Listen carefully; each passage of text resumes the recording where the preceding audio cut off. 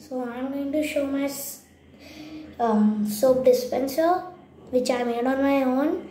And this is the pipe. It is connected to the motor. The motor is inside this um, soap. So when I will start this motor the soap will come out from this pipe.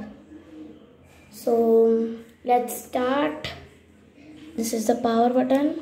So you can see the light means the power button has started now this is another button which I will click so see. The water is coming on its own. Now I'll click again that button see.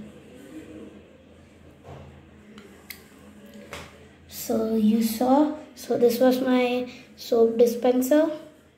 So thank you